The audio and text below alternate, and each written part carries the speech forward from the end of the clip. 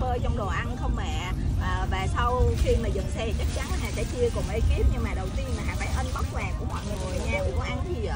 Dạ bữa có cô fan có tặng á. Ồ vậy hả? Có cô fan nào tặng nè? Bây giờ Mio đang sử dụng nè ngon không? Dạ ngon. Ngon Bây giờ Hà Trên tay Hà đang là Cái này chắc cũng đặc sản rất thơm Cái mùi rất thơm luôn cả nhà.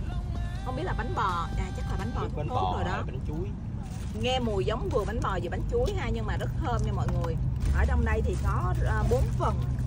Và bây giờ hà sẵn dịp là hà đang rất là đói bụng nên hà sẽ review cái món bánh này luôn nha. Ờ, à, sớm thấy sài gòn bán món này ta? Hay là mình chưa chưa chưa có dịp ăn? Đây đây là cái miếng bánh đó mọi người. Có chắc là có vị sô cô la trong này.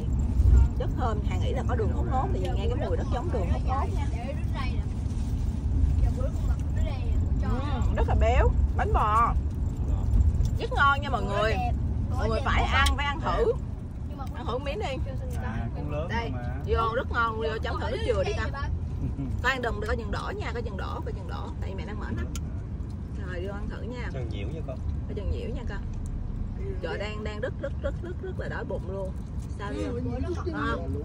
Ngon. Đúng không?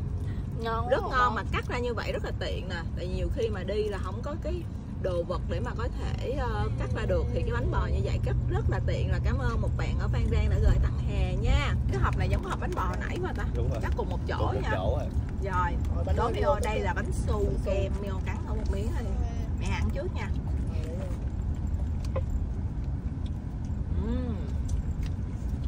Tưởng là bánh su kem nhưng ở trong á cái nhân này giống như nhân cay vé vậy đó mọi người.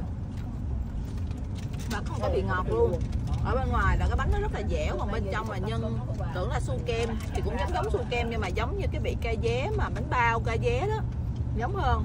Không biết bánh này tên là gì nhưng mà ở đây hà có tới không? Bánh Tâm Phát má đường Hà Diệu đường Hoàng Diệu. Ở đây mình có tới rất là nhiều hộp bánh luôn. Cái này mình sẽ chia cho ekip nha. Cảm ơn cảm ơn bạn ở um, Phan Rang nha